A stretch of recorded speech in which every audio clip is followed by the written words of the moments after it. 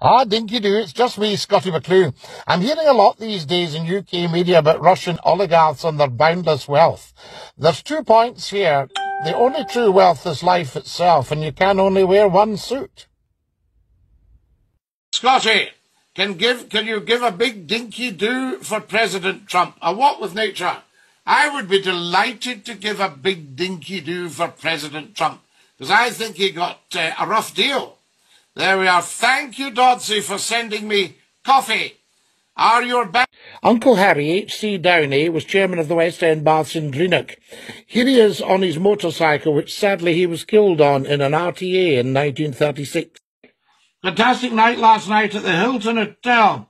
There we are, Rangers manager legends, Gorbals boy. It would be a fantastic night.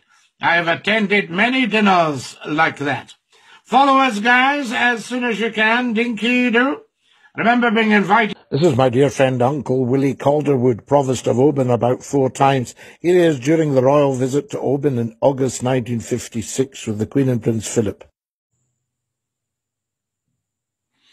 Hello, Dinky Doo, me hearties. It's just me, Scottie McClue. It's just gone half past eleven on Sunday. Sunday, the 13th of March. Lovely to have you with us and a big dinky do to every single one of you.